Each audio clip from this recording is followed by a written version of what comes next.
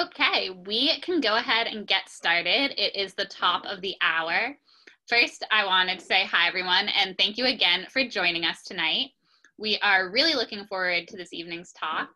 First, I'll introduce myself, and then I'll introduce our panelists, and we'll dive right into the program. So my name is Michaela Morris, and I'm an Oceans Associate with Environment America. We are a nationwide network of state-based nonprofits that work to protect clean air, clean water, and open spaces the ocean included in those open spaces. So tonight you'll hear first from Amy, Amy Warren, right whale research assistant at the New England Aquarium about her work researching right whales. Next, you'll hear from Bill McWeeny, environmental educator and principal investigator with the Calvin Project about his experiences working to save the species. Then I'll share a little bit of information about the relationship between right whales and policy and what you can do to help save the species. Finally, after that, we'll open it up so you can ask us all some questions.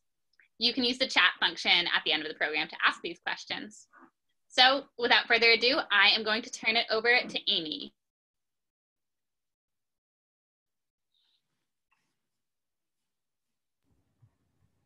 Thanks, Michaela. So I, my name is Amy Warren. I'm a research assistant with the Cross Marine Mammal Program at the Anderson Cabot Center for Ocean Life at the New England Aquarium. Located in Boston, Massachusetts. And I'll be talking to you about North Atlantic right whales and the research we do at the aquarium.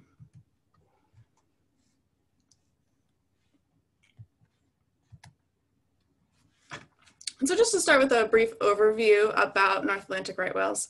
They got their name from being the right whale to hunt because they're large, fat bodies. They have very thick blubber or fat layers. And these very thick blubber fat, layers produce a large amount of oil back in the whaling days. They're also slow moving and buoyant once they're killed, so they're a very easy target in the early days of whaling.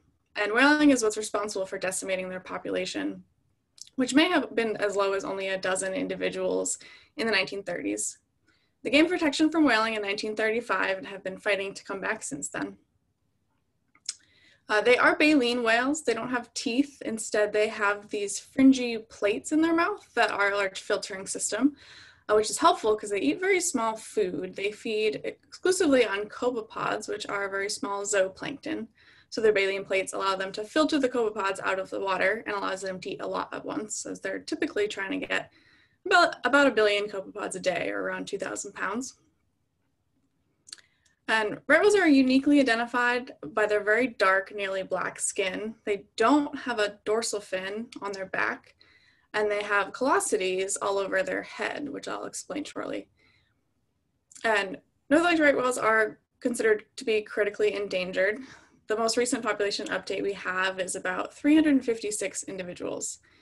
Uh, well, they made a comeback since they stopped being hunted. They are now in decline again, and this is mostly now due to entanglement and vessel strikes.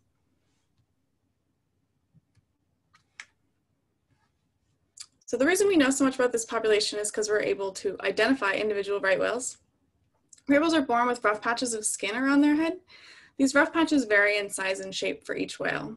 The rough patches become home to cyamids, also known as whale lice. These lice only congregate on the rough patches, and being white in color, they provide contrast in order to see what we call the callosity patterns. These patterns are fairly easy, easily visible even from a distance and are unique to each whale. And once the whales are full grown, these patterns don't change much, if at all. And this next image shows you examples. We break down the callosities into two different types, broken or continuous, but they can vary a lot uh, between each and every whale. And this is kind of just a breakdown of all the different um, patches and the names we give them to help us identify them. So this map shows the range for most North Atlantic right whales. Their preferred prey is only prevalent in colder waters. So mostly they're feeding in the Northeast, um, from basically from Canada uh, down to the waters off of Long Island, New York. And the migratory path follows the coastline down to the calving grounds, which are located off the coast of South Carolina, Georgia, and northern Florida. Uh, typically, these whales aren't really going past um, Cape Canaveral, but occasionally we get some whales that will uh, wander into the Gulf of Mexico. Uh, but um, pretty much past Canaveral is about as far as they go. Uh, but actually, only a small portion of the population travels down to the southeast. Uh, mostly just pregnant females who give birth to their calves in the warmer waters down there because uh, the newborn whales don't yet have the warm blubber layer to keep them warm in the cold waters off New England and Canada. But since most of their food is in the colder waters of the north, whales are actually fasting when they're down in the calving grounds. So it's a lot of work for these moms to not only care for the young, but also be fasting while they're doing so.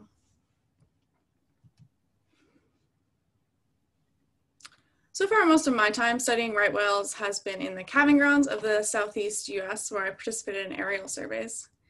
Seeing whales from a plane at about a thousand feet is a really unique perspective. You do lose a couple senses, not being able to hear the hear or smell the ocean or the whales, but you can see into the water and see much more of what's happening under the surface. In the calving grounds, most of our sightings tend to be of mothers and their newborn calves. There really isn't anything more special watching than watching a mother and calf interacting. These calves are born in the winter, and sometimes we'd see baby whales that are only a couple days old. While they look small next to mom, these calves are about 15 feet long the day they're born, but they do grow very quickly. They separate from their mothers usually by the next winter, winter to live a fairly solitary life. So the short time these pairs have together is very important.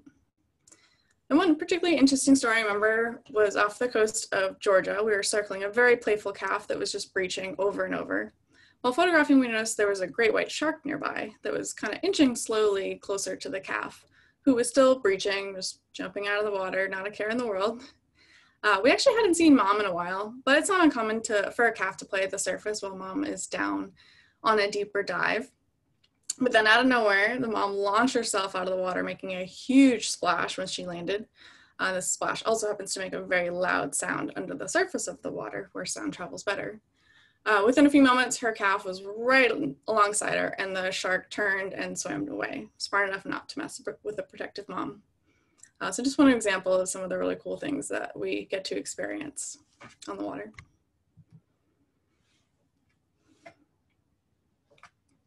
So right whale research has been going on at the New England Aquarium continuously since 1980. Um, just some of the work we do includes we manage the North Atlantic right whale photo identification catalog, because I mentioned we can ID them. Uh, we do some field work, mostly vessel surveys, where we're working on photo ID. Uh, we're photographing, looking at their health, uh, doing some sampling, and we also study health and human impacts, looking closely at the scars on the whale's body caused by fishing gear and vessels, and just kind of overall their health, their body condition, and what's going on with them. So my team manages the ID catalog by organizing photos of sightings of right whales that come in from all over the North Atlantic. Uh, lately, we've been receiving over 4,000 sightings each year. So far, we've identified over 700 individual right whales. This includes whales that are now dead, as the population's again around 350. Uh, but our sightings date as far back as 1935. So there's a lot of information in this catalog. Uh, we give each of these whales a four digit catalog number, but some are also given nicknames, which helps us ID them in the field quickly. Uh, for example, this whale shown here is a whale named Boomerang, and she's named so uh, for a scar on her tail that's in the shape of a boomerang. So cataloging whales and all of their sightings allows us to keep track of things like age, offspring, injuries, and also just keep track of where they're going. And this catalog is available to, the, to peruse online, and I invite all of you to check it out. I included the website down at the bottom. Scars are also used for identification, but unfortunately these scars all come from human causes, uh, mostly vessel strike and entanglements in fishing gear, which leads me into um, studying health and human impacts. As we sift through these sightings allows us to better understand their lives. By looking closely at their body condition and new scars each year, we can tell when and sometimes even where these whales are getting injured. And understanding their injuries can help inform management of fisheries and vessels in hopes to prevent future interactions. For example, asking ships to slow down in certain areas where whales are present and attempting to make ropes and fishing gear safer for whales. So all of my team's fieldwork is boat-based, and we focus on various feeding grounds in the Northwest Atlantic. In the springtime, we work with other research teams in Cape Cod Bay, which is a, a main feeding area for them in the early spring. Uh, we work with Woods Hole Oceanographic Institute and NOAA's Northeast Fisheries Science Center. Then in the summer months, our team breaks up into smaller groups and focuses on two different areas. Uh, we typically run several long offshore research cruises on a larger chartered vessel in the Gulf of St. Lawrence in Canada. These trips are a combined effort with our team as well as other research groups collaborating on various aspects of right whale research, including photo ID, but also acoustics and plankton sampling. And simultaneously, we run day trips in the Bay of Fundy, based out of Lubec, Maine. And then the next image should be a map. And so this is the same map as I showed earlier, but zoomed in on the feeding grounds. So kind of New England and Canada. And so as I mentioned, our longer offshore trips are in the Gulf of St. Lawrence, which is circled near the top. And then our day trips in the Bay of Fundy are based in that um, small purple box in the center, Grand Manan Basin. That's where all of our Bay of Fundy work is based. And then um, Cape Cod Bay is down towards the bottom. And so this is our research vessel Nereid. Uh, we've been using this vessel every year in the Bay of Fundy since 1981. Uh, she's basically another member of our team. Uh, while conducting our fieldwork, we have several goals. When we find right whales, our initial goal is always to get good photo documentation. Oftentimes, we're able to identify the whale in real time. We want to do this so we can de determine if it's been sampled or not. This is important because our goal is to get a biopsy sample from every whale in the catalog, but also avoid sampling whales more than once. This biopsy sampling is done by using a crossbow and a specialized arrow, which collects a small chunk of skin and blubber. And these biopsy samples can allow us to determine sex and genetics, things that we can't tell just by photographing. And longer term benefits of photo documentation allow us to track the locations of right whales over time, as well as their apparent health. Knowing where right whales are throughout the year allows us to provide valuable information to regulators managing ship traffic and fishing methods. And that's all I have for you today. Back to you, Michaela, I think.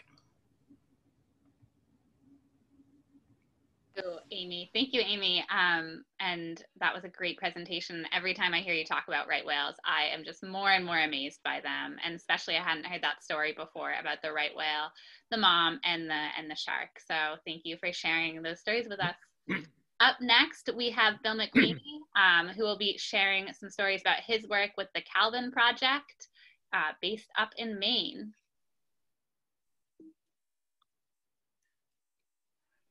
I'll hand it over to you, Bill. Okay, thanks, Michaela. We can go to the next slide. So the Calvin Project is run by a group of seventh and eighth grade students from the Adams School in Castine, Maine. They call themselves the Calvineers. The students are trying to save the endangered North Atlantic right whale from going extinct. The mission of the Calvin Project is endangered species recovery through education. Next. The Cal. Um, as principal investigator for the Calvin Project, my main goals are to embed right whale science in the science curriculum, while at the same time embedding the students in the scientific community studying right whales. The students meet once a week after school to learn about marine mammal biology, physiology, and behavior with right whales as the primary subject.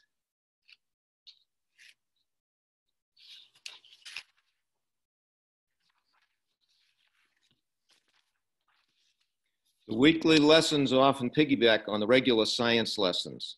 So when we study, when, when the students are studying the human respiratory system, the Calvineers will then study the right whale's respiratory system. When they study Newtonian physics, they will then study how much force a right whale can make to break a fishing rope, for instance. When they study protein synthesis, they apply it to the hairs on the chin of a right whale. And when they study the ecology of the ocean, they then study the right whale's role in supplying nutrients and to phytoplankton and sequestering carbon from the atmosphere. The Calvineers attend three major field trips each year. They first visit Campobello Island in Canada and go on a whale watch with Captain Mackie Green. a member of the Campobello Whale Rescue Team. They see humpback, minke, and fin whales up close in Mackie's small boat. In 2019, the Calvineers got to see a foraging right whale, something very special. After the whale watch, the Calvineers are given a talk by Mackie about how whales are disentangled and just how dangerous that job is. On the same field trip, the Calvineers then visit the New England Aquarium Right Whale Research Station in Lubec, Maine. The scientists give numerous talks about their research project and how the team maintains the right whale catalog. After the talks, the Calvineers have dinner with the researchers with a meal cooked by the cook. The second field trip the Calvineers experience is a three-day trip to the annual Right Whale Consortium, usually held at the New Bedford Whaling Museum each fall. Here the Calvineers do two things. They set up posters showing their most recent work to help save the right whales. The Calvineers also attend a dozen or more talks from scientists about research work they are interested in. In addition, each Calvineer is able to talk one-on-one with scientists during the breaks. Many right whale scientists become mentors for the students over their two-year term as a Calvineer. After these two field trips, the Calvineers are ready to create a PowerPoint about the right whale story and the problems right whales face. In their PowerPoint, they highlight current research and let the audience know how they can help right whales. The PowerPoint is a little different every year, but always has as its theme the life of Calvin, the right whale.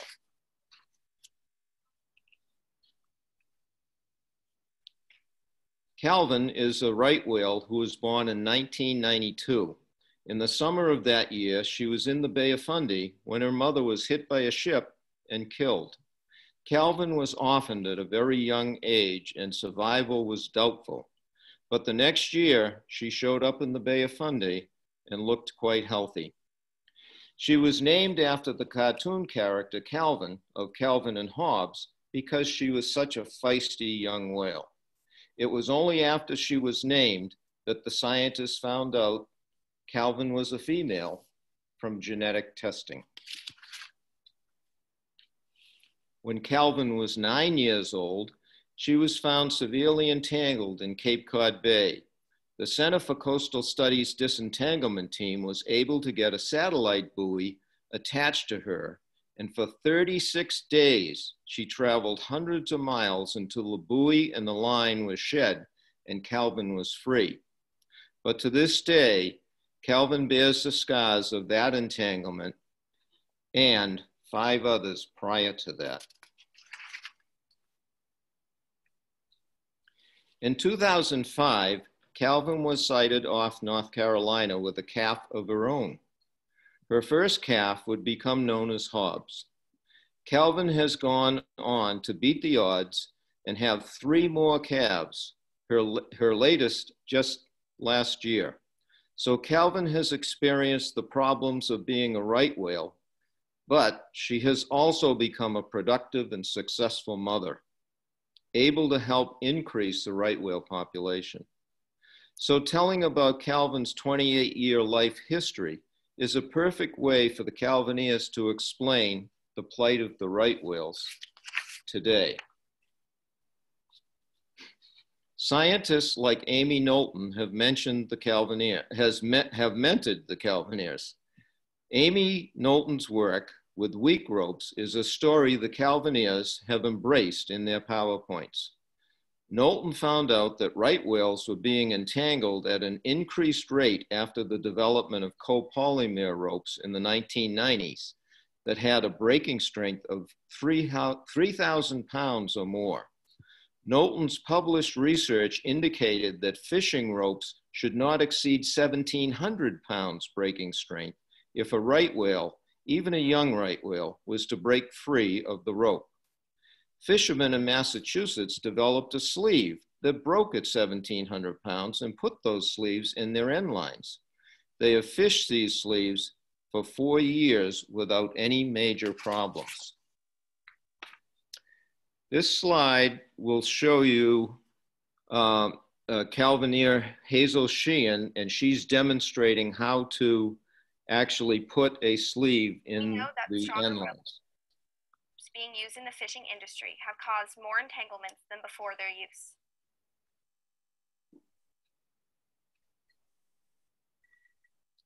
It is a fact that stronger ropes also cause more severe entanglements than before.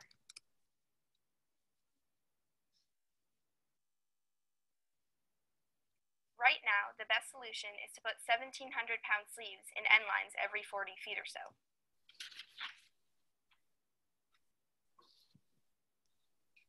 This will allow right whales to break free more easily when entangled, and that will cause less severe wounds.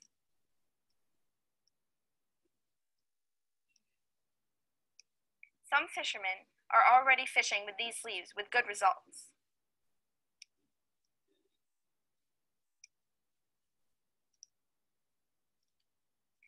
The sleeves work in their haulers and are strong enough for most gear situations.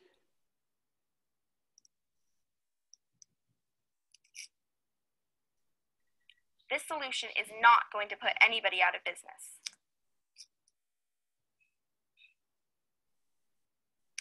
It only takes a minute or so to splice a sleeve in.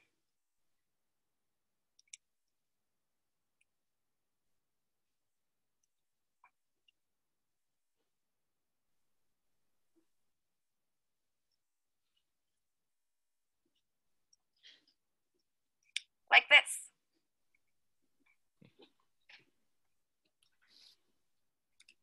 Next slide, please. We know that.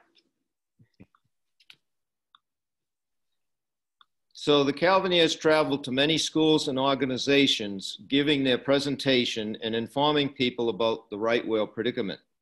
Some of the recent venues they have presented at include local public schools, the Maine Maritime Academy, the Gulf of Maine Research Institute, the Coast Guard, the Wilson Museum, the Maine Center for Coastal Fisheries, and the New England Aquarium's Lowell Lecture Series. When they go on field trips, they stop at local schools in the area to present. In addition, they have presented outside of New England, specifically in Quebec, in New Brunswick, in New York City, Tampa, Florida, and most recently last year in Barcelona, Spain. The third field trip the Calvineers attend is to the New England Right Whale Festival in May. This festival was actually inspired by a Calvineer, Drake Janes, in 2014 when he wrote the education department at the New England Aquarium and he asked if they would help co-sponsor the event. The festival now has been going on for six years. Here is where the Calvineers share the floor with scores of organizations, all trying to help save the right whales. They make and explain posters and they give demonstrations. Their most famous demonstration is dressing up like a right whale to highlight the right whale's anatomy.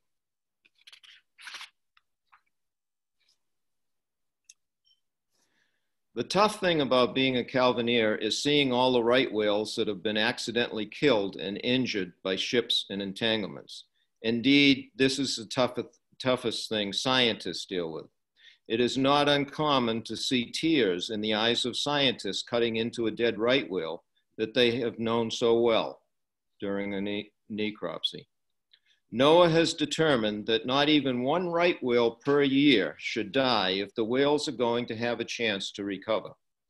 But the average over the, over the last decade is more than two right whales dying per year, and most of those are from entanglements. And those are recorded deaths. Scientists estimate that for every right whale recorded death, there is at least another death not recorded, like Admiral, who went missing soon after this photograph of her was taken. Hobbes, Calvin's first calf, born on December 30th, 2004, was seen multiple times from 2005 to 2011. But since 2011, Hobbes has not been seen. She is presumed dead. Protocol lists whales not seen for six years as deceased. So the deaths that are reported are not all the deaths of right whales happening. Hobbes may have been hit by a ship or even tangled in fishing gear and drowned. There is no way of knowing, but one thing is certain. The only way a young right whale will die is by ship strike or entanglement. There are no natural predators of right whales, and there have been no diseases reported in more than 40 years of study. Right whales can live to be 70 years and older if they are not accidentally killed. The right whale population is declining because of human caused deaths. Although they be accidental deaths, the toll will lead to extinction of the North Atlantic right whale. The hope is that we can stop the deaths and severe injuries. We have the means to do that. All we need is the will. The Calvineers speak out. They write letters to politicians. In 2008, they wrote President Bush urging him to pass the ship speed rule, which was passed later that year. This year, they have filled out postcards urging Congress to pass the Save Right Whale Act.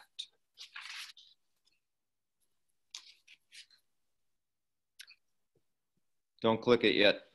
I'll leave you with a vision of hope for the right whales. The Calvineers have been lucky enough to attend three international meetings of the Society for Marine Mammalogy. In 2009, they gave a plenary talk at the Quebec City, receiving a standing ovation from 1,800 scientists. In 2013, they presented to schools in the Tampa Bay area while presenting posters at the 19th Biennial Conference. And in December of 2019, they presented at the Second World Marine Mammal Conference in Barcelona, Spain. Here, they were asked to give a talk about how climate change has led to the demise of right whales um, in the last decade. So here's a short clip of their presentation.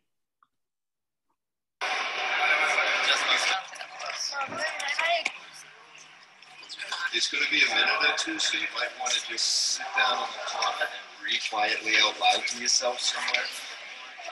When they did not find sufficient food in the Bay of Fundy, many gray whales roamed to the areas north of Nova Scotia.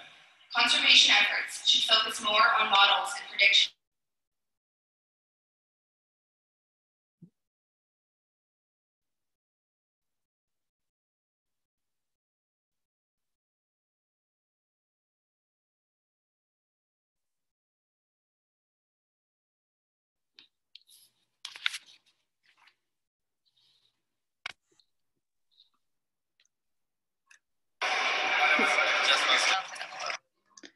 Thank you, Bill, for that presentation. Um, oh, we yep. still have a few more slides. Sorry about that. Yeah, there's just one more slide. So to summarize, the Calvineers are trying to educate people so they will speak up for right whales. There are good solutions to the entanglement and ship strike problems that will not jeopardize the fishing industry or the um, shipping industry.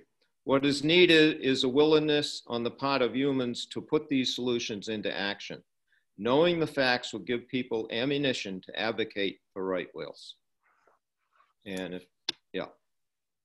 Great. Thank you. Thank you so much, Bill, for that presentation. Um, I love the Right Whale Bill of Rights. I hadn't seen that before, um, and I just think it's such a great document and really powerful. And up next, um, I will be speaking about the policy solutions, in particular, a proposed rule um, and a NOAA comment period that we have to protect our right whales. Tough act to follow behind Bill and Amy because they have some really, really excellent charismatic stories about the species and uh, the people they've worked together with to protect them. Um, but this is another really important part of the puzzle to protecting the species, and I'm excited to share it with you.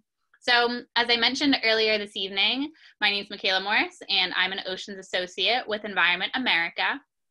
I coordinate our Save Right Whales campaign, and I also lead our grassroots oceans organizing project called Voices for Our Oceans. You can email me after um, if you want more information about that. We are always looking for new volunteers to get involved. But I have spent the last year and a half immersed in building support for the policy solutions that we have to protect our North Atlantic right whales. And while there are really, really important ongoing lawsuits that help pr- to protect the species, like one filed by the Center for Biological Diversity, the Conservation Law Foundation, and a few other environmental groups. And we also have really important legislation like the Save Right Whales Act that Bill mentioned. Tonight, I will be focusing on the National Oceanic and Atmospheric Administration rule, rulemaking process to reduce right whale entanglements. As we are expecting some developments in the next few months, and you might have the opportunity to participate and take action. So first, tell a story between right whales and policy. We actually need to rewind back over 40 years to the 1970s when Congress passed the Endangered Species Act and the Marine Mammal Protection Act. In the early 1970s, scientists and the general public grew increasingly concerned about the harm being inflicted by human activities on our wildlife and our wild places. Some examples toxins from industrial runoff, polluted waters across the United States, and industrial production spewed smoke into our air, degrading air quality. Support for cleaning up and protecting our air, water, and public lands mounted, creating a culture that helped drive our lawmakers to take action. In 1972, Congress passed the Marine Mammal Protection Act. There are four types of marine mammals pinnipeds, which are seals, sea lions, and walruses, sirenians, which are manatees and dugongs, and marine fissipeds, polar bears and sea otters. A lot of people don't know polar bears are marine mammals, in fact, um, and cetaceans, which are whales, dolphins, and porpoises. Our North Atlantic right whales are considered a, a cetacean. The Marine Mammal Protection Act prohibits the take of marine mammals, which is the hunting, harassing, or killing on the high seas. It also regulates the import of marine mammal products into the United States. So because right, North Atlantic right whales are marine mammal, the Marine Mammal Protection Act helps protect them. In 1973, Congress passed another piece of landmark legislation called the Endangered Species Act. The purpose of the bill is to protect and recover species at risk of extinction. Since the bill was passed, North Atlantic right whales have been listed as endangered, and taken together, these two bills provide a framework that ultimately gives us the capacity to protect the species. Two decades later, after the original passage of the Marine Mammal Protection Act, amendments to the bill continued to support right whale restoration. In 1994, Congress amended the Marine Mammal Protection Act to establish a stock assessment report program. So, what is a stock assessment report? Essentially, the US government works with scientists to count the population of each species of marine mammals in United States waters at least once every three, week, three years. The graph to the right shows right whale population over time and was taken from the 2019 right whale stock assessment report to give you an idea of the kind of information that these reports contain. Such reports help scientists and conservationists determine whether current conservation measures are enough and whether more needs to be done. Each report must categorize a stock as strategic or not strategic. If a stock is strategic, the MMPA must says that we must establish a take reduction plan to help the species recover. All stocks listed as endangered under the Endangered Species Act are considered strategic. So the North Atlantic right whales are considered strategic, and we had to establish a take reduction plan to help them out. In 1996, the National Oceanic and Atmospheric Administration did just that and convened the take reduction team for Atlantic large whales to help reduce the takes of right whales, humpback whales, and fin whales in Atlantic fisheries. Specifically, the team aimed to reduce right whale entanglements in fishing gear. Since the first take reduction plan was released, it has been modified several times. So as the graph on the previous slide showed, after a few decades of population increases, the 2010 saw a beginning of a decline in the population of right whales, which both Bill and Amy shared and talked more about. In 2017, the National Oceanic and Atmospheric Administration declared an unusual mortality event when 17 right whales died in one year. Unusual mo mortality events require NOAA to take immediate action. So in August 2019, the National Oceanic and Atmospheric Administration published a notice that they will begin a process to update the take reduction plan.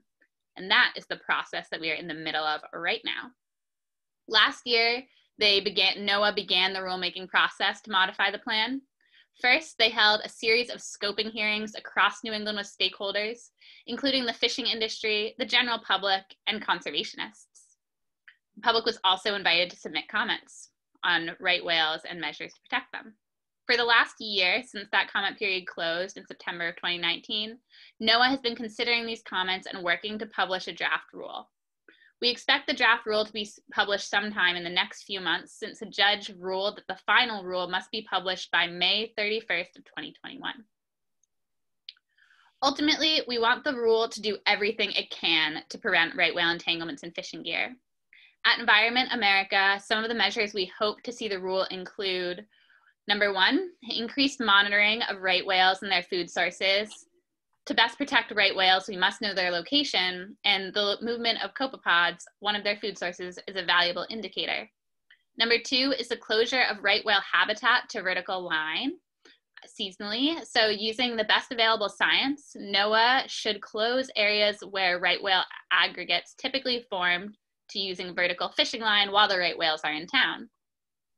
Closing these known right whale habitats to fishing really does reduce the risk of vertical line entanglement which, as we know, is a leading cause of right whale deaths.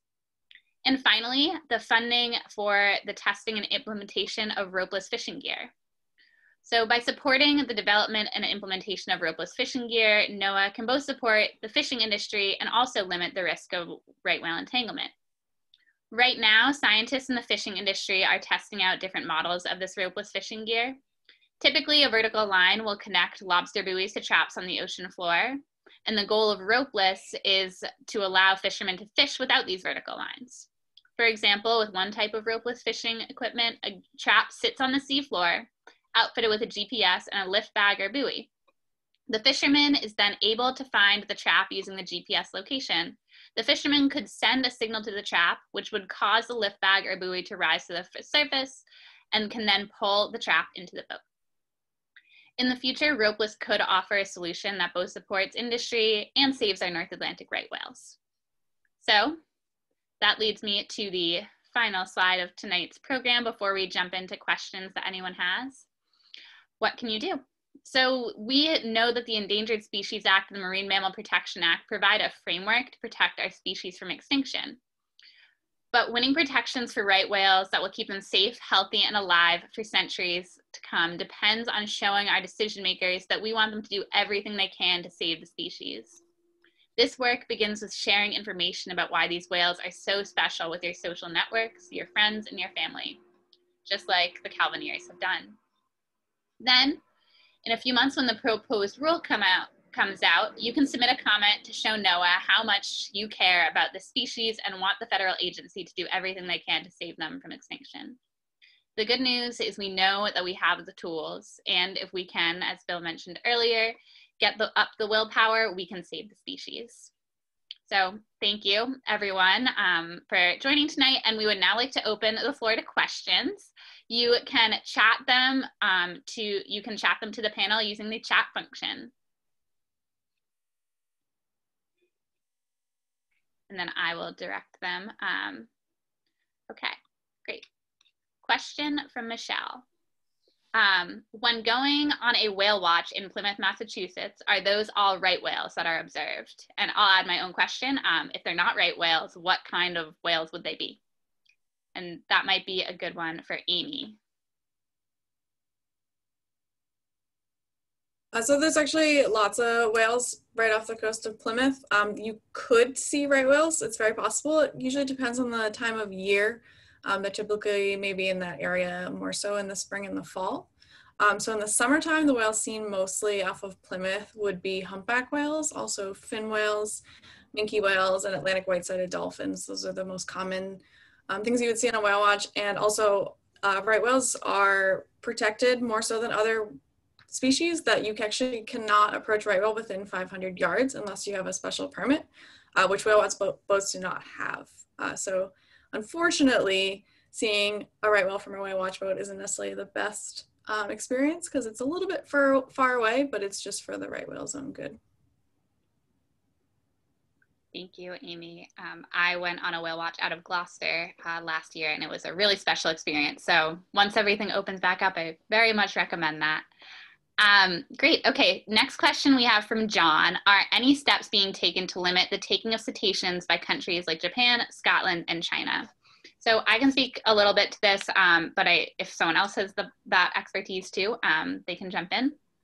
So I do know that there are international oceans management bodies. The one that comes to mind in particular is the International Whaling Commission, which outlawed the outlawed the practice of whaling in the 1930s. And I do know that this is very much on the radar of of those bodies is figuring out a way to make sure that we can continue to protect our um, cetaceans. But I would need to do a little bit more research because a lot of my work is focused internally in the US.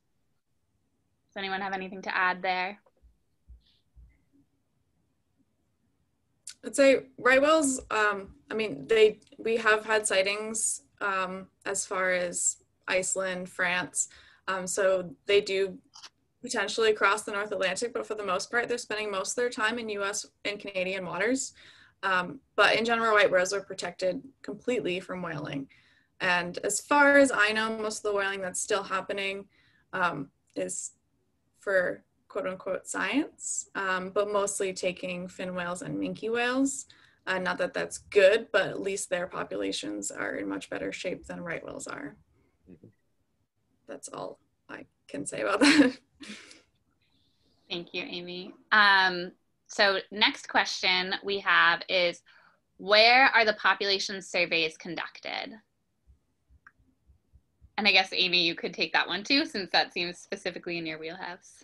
Um, pretty much the whole um, east coast of North America. Um, there, it kind of depends on where you are of who's running the surveys, and that does change.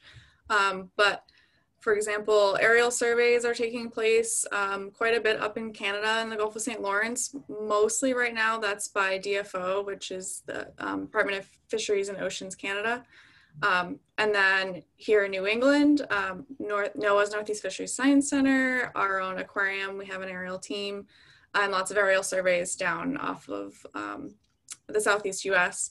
And then as far as vessel surveys, kind of um, similar areas by some of the similar groups. Um, but pretty much most of the East Coast of North America, with the exception of there's kind of a a little bit of a dead zone between New York and North Carolina, but for the most part, we think right whales are mostly just passing through that area, um, not most likely not spending too much time there, which is why there hasn't really been too much of a focus to put surveys in that area. Thank you. Um, up next, we have a question for Bill about the efforts of the Calvineers um, in a remote learning. How, how is the club adapted and is it still able to do its educational work? Well, we are, but it, it limits us a little bit. I meant I, I had to forego the field trips this fall. Um, and so I had to kind of uh, fill in where uh, we adapted to Zoom really well. Um, Zoom works really well, and we're putting together a PowerPoint um, that the students will do on uh, Zoom meeting uh, for various groups. So we're still working, but it's it's much harder than doing things in person. And I just miss being with them. Definitely a challenging time right now. Okay, um, let's see. The next question we have is Has the increase in open te ocean temperatures caused a change in the migratory patterns and are they staying further north as a result? So I think both of you touched on this in your presentations. Um, so maybe Amy, if you want to take the first crack at it, and then Bill, you can jump in. Mm -hmm. Yeah, certainly. We know the oceans are warming. We've already seen it happening, um, and it's actually happening faster in the Gulf of Maine than it is in the rest of the ocean. Um, but as I mentioned, their favorite food, the copepod, only lives in cold water. So as the oceans are getting warmer, we believe that copepods are moving further north and so that means whales are traveling further north to find their food. Um, in the past five or so years, the Gulf of St. Lawrence has become a very popular feeding area for right whales now, uh, but that was not the case 10 years ago um, and before that. And so we think this, this shift is a cause of um, warming oceans and, and partly an issue because as the whales move into new areas like the Gulf of St. Lawrence, these a lot sometimes these areas don't have the protections that their older areas do, um, which is why we've lost so many right whales in the past three years because they moved to the Gulf of St. Lawrence, which until recently didn't have any protections. Yeah, and I, I'd say that um, because uh, the whales are moving and looking for food more, uh, it's even harder to track them now. And um, so just about anywhere, they could be just about anywhere uh, on the East Coast. Um, so it's really hard to put closures in for a specific area. Um, but I hope, I hope we do get closures in for areas that, that are obvious. Yeah. Like if I can add one more thing too, the fact that the food is moving means the whales have to work harder to find it and maybe even traveling further. So if the whales are still going to go to the southeast to give birth, that means their overall migration distance is even further. So it takes more energy, which then means they need to find more food. So it's a very complicated thing that's happening. Yeah, definitely uh, all the systems and are so interconnected in our natural world. So that's why it's important that we're standing up for these species so we can kind of create a system of treating our world with natural world with respect and making sure that we are able to protect it as best we can. Great. Okay, um, next up we have a question from Grace. What is the status of the Save Right Whales Act at this time? Um, so I can take a stab at that too, but do either of you have um, expertise in that? I can maybe I can just lead and then you one of you can fill in if if you want to. So the Save Right Whales Act um, was introduced in the last in the last congressional session, and it was introduced, but it has not gone to either floor for a vote. One of our goals this year has been to get on more co-sponsors, so more elected officials who sign their names saying that they support it. We um, hope that it will be reintroduced in the next upcoming congressional session. And if that is the case, we will still be looking to build more support for it and hopefully pass it over the finish line. Um, the goal of the bill is to, one of the goals is to provide funding. Um, I think it's to a tune of 5 million over the course of 10 years for the development of ropeless fishing technology. So it's an important component of the solution to protecting right whales is figuring out how we can um, bear that cost and pay for that cost of adopting new gear.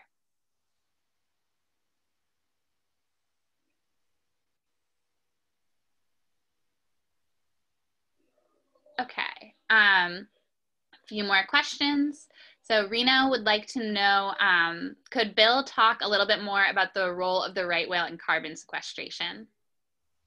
Sure. Um, these reports just came out this year um, it wasn't from any right whale researchers. It was, um, I'm, I'm, trying to think of who it was from, but the bottom line is, is that a, um, a 50 ton whale can sequester um, upward of, I, I think it's like 10,000 or 20,000 tons of carbon over their lifetime. And it stay you know and it doesn't go back into the uh, environment. If the whale goes down to the bottom uh, it gets sequestered down there. So they're, they're very useful um, to have a big population of whales out there as far as carbon sequestration um, they also add an awful lot through their feces to the uh, to the environment as far as um, producing, um, helping uh, phytoplankton uh, produce, which is what the copepods feed on. So it's kind of like a cycle there that they're doing. Yeah, the ocean does have some really powerful and interesting solutions to climate change. And it's a, a conversation for, I could talk about it for a really long time, um, but it's really great that right whales are part of that picture as well. Okay, we do have a lot of questions. Um, so the next question is, I think maybe a good one for Amy, but Bill also might have something to say about it too. Um, is lack of genetic diversity another possible factor in the declining population? Yeah, um, I can't speak to anything um, like officially scientific on it, but we do know that you know the population was very very low back in the 1930s. I, I've heard something that it's possible that there was only six genetic individuals at that time. Um, so yeah, this population is growing back from very minimal diversity, which we think can lead to poor health in general. Um, so it's definitely an issue, but it's something we're still, still trying to learn more about. We get a lot of genetic samples, so that's helpful. But I think part of it too is there's not much we can do about that part. I mean, I'd love to say let's mix up the breeding pool with some of the southern right whales, which is a different a different species, which are doing much better. Um, but it's kind of hard to do that with 50 ton animals that live in different hemispheres. Some logistical problems among others. Um, there's been some talk about the fact that uh, maybe right whales aren't as hurt as um, as much as other populations, other species would be, with a low genetic pool. Um, they seem to have um, some kind of resiliency there, um, so that there there aren't um, malformities and things like that. But still, a lot of research needs to be done on that. And it's awesome that we have institutions like the New England Aquarium that have teams dedicated to doing that research. Mm-hmm. Okay, another question. Are right whales suffering from sonic testing as other types of whales are? And Amy, maybe. Yeah, I think that's another thing that we still don't know a ton about, but I would assume yes. I mean, just in general, um, the lots of all the ambient noise in the ocean interferes with a lot of the things they do, probably feeding, mating, communicating. Um, in general, they're solitary, but obviously they come together to mate. Um, and yeah, maybe migrating, they can have issues if there's extra uh, interference, knowing which way they're supposed to be going or how to find their food. Um, that's definitely something that's just a bit harder to understand quickly. that's going to be more of a long term thing. But just in general, all the extra noise in the ocean is definitely not helpful. Yeah. Right. There, there's a classic story there um, uh, done by researchers at the aquarium. Um, in back in 2001, uh, they were taking uh, fecal samples and measuring the uh, stress levels, uh, the hormones, hormones and the stress levels in whales. And in 9 11, when 9 11 happened, um, the shipping stopped and the airplane stopped, and there was less noise in the Bay of Fundy. And sure enough, the samples from the feces showed less stress in the whales when there was less noise in the environment. So it's, it's definitely a stressor having noise out there. Lots of lots of factors. So, a question from Grace How can we put more direct pressure on NOAA to act on the advisories of their own scientists?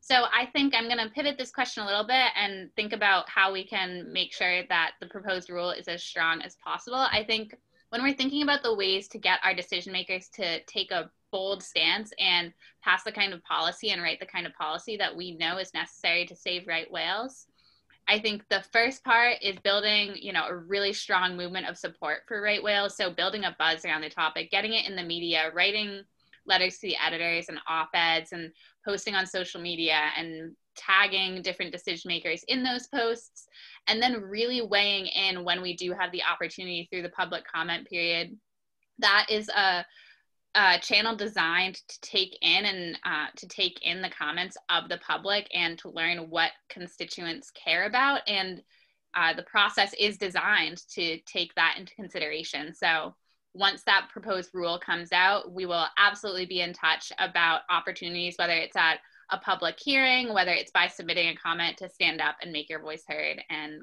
hopefully get some really strong protections for this special species. Um, but Bill and Amy, do either of you have anything to add?